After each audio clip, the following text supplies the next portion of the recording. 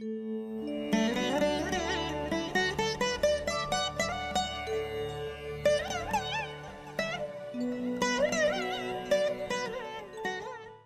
அனைவருக்கும் வணக்கம்.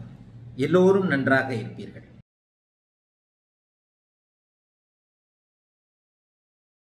இப்பொழுது முதன் முதலாக சூரிய தசையில அதன் உள்ளே அடங்கிய ஒன்பது புக்திகள் எப்படிப்பட்ட தன்மையை கொண்டிருக்கும்? சூரிய தசை சூரியனுக்கு அடுத்து சூரிய தசையில் சந்திர புக்தி சூரிய தசையில் சுயபுக்தி சூரிய தசையில் சந்திர புக்தி. அதனை அடுத்து செவ்வாய் ராகு குரு சனி புதன் கேது சுக்கரன் என மற்ற எட்டு புக்திகள் வருகின்றன இல்லையா? ஆக ஒவ்வொரு புக்திகள் அமைப்புகளிலும் எப்படிப்பட்ட நிலைகளை இங்கே சூரியன் தருகிறார் அப்படிங்கிறத இப்போ பார்த்துடலாம்.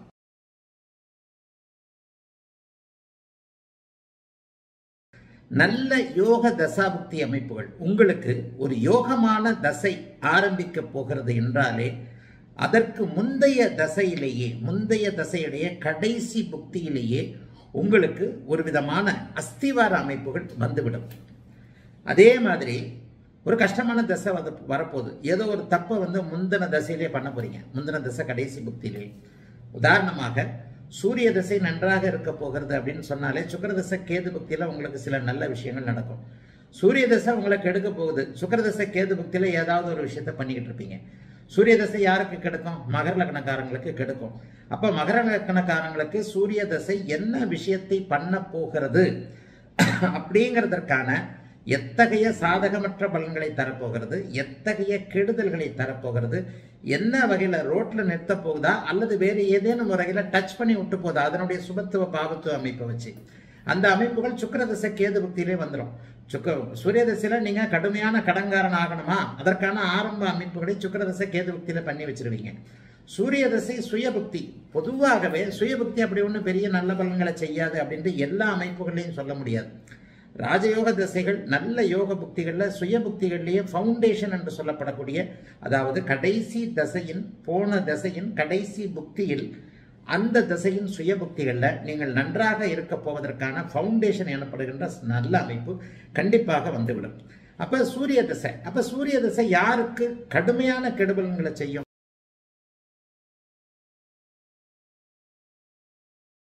குரு அணி லக்னங்களுக்கு சூரிய தசை நல்ல பலன்களை செய்வார். அப்ப குரு அணி லக்னங்களுக்கு சூரிய தசை நல்ல பலன்னா குரு அணி லக்னங்கள் என்ன? சந்திரனுக்கு கடக லக்னத்திற்கு இரண்டாம் அதிபதியாக செயல்படுவார். ஆக தனாதிபதி என்கின்ற நிலையில சூரியன் நல்ல விதமான பலன்களை செய்வார்.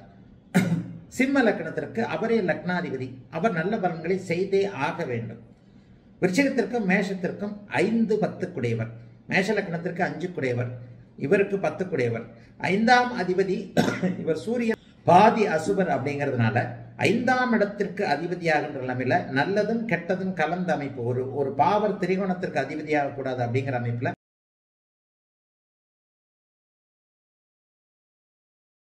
அவரை வந்து எதிரியாக பாவிக்கக்கூடியவர் சுக்கரன். அப்ப அவர் சுக்கரனுக்கு நல்ல சுக்கரனுக்கு சூரியன் எதிரி. அப்ப அவருடைய ரிஷப லக்னத்திற்கும் துலா லக்னத்திற்கும் என்ன நடக்கும்? ரிஷப லக்னத்திற்கு நாலு குடைவர் இந்த இடத்துல நான் கேந்திரங்களுக்கு சூரியன் அதிபதியானால் நல்ல பலன்களை செய்வார் என்கின்ற தன் அமைப்புல ரிஷப லக்னத்திற்கு சுகத்துவமாக இருக்கின்ற நிலைமையில கட்டுக்குள் உள்பட்ட நட்பங்களை சூரிய தசை செய்யும். அதே நேரத்தில் துலா லக்னத்திற்கு அவர் பாதக அதிபதியாக வருவார். பாதக அதிபதி என்றைக்குமே பாதக ஸ்தானத்தோடு பாதக பாதக அதிபதி அபூர்வமாகத்தான் கெடுபலன்களை செய்வார் அப்படிங்கிறதா உண்மை. பாதகாதிபதி ஒரு கவனிக்கப்பட வேண்டிய ஒரு கிரகம். எல்லாருக்குமே பாதகாதிபதி கெடுபலன்களை செஞ்சிடறதில்லை. லக்னாதிபதியின் வலு பாதகஸ்தானத்தில் அவர் எத்தனை சுபத்தன்மையோடு இருக்கிறார்? பாதகாதிபதி சுபத்தன்மை அடையக்கூடாது. பாதகாதிபதி சுபத்தன்மை அடையும் பொழுது எல்லாவற்றையும் செய்து ஒரு பாதகத்தை செய்வார் என்கின்ற விதியின் அடிப்படையில்